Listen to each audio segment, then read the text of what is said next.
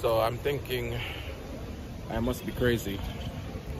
I'm sitting here in the Dominican Republic. It's, it's nice. It's it's alright. It's not Jamaica. Yo, Jamaicans, we tell you something. Loving the country, you know. Special, you know. Don't get me wrong, this place is nice, but don't have the Jamaican vibe to it. You know, so Jamaicans, be grateful and take care of our country. But anyways, that's not why I'm here.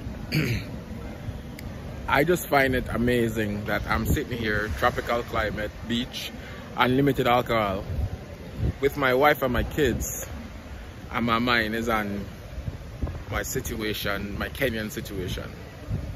I don't know what that contributed to me, boy. Can't stop thinking about Kenya.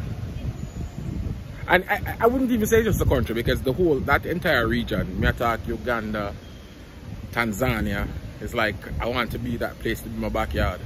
I want that place to be the place I call home. I'm here alone and the kids then go swim. So me have to hold the camera with man. Yeah man, me just my mind just depend on Africa.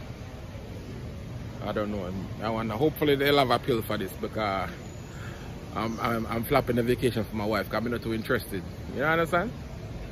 But anyways, um, I'm in the Kenganda group.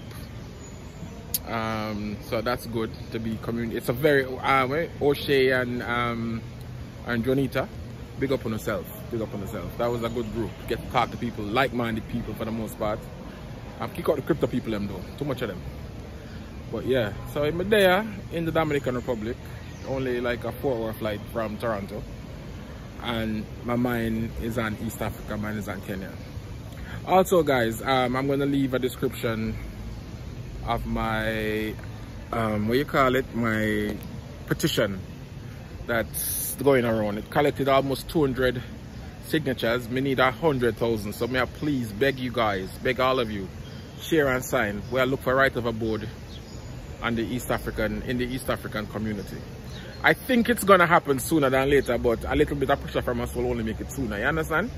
So please I'm begging you anyways I'll do a couple videos about the beach here and so on. It's not bad. And again, it's not bad.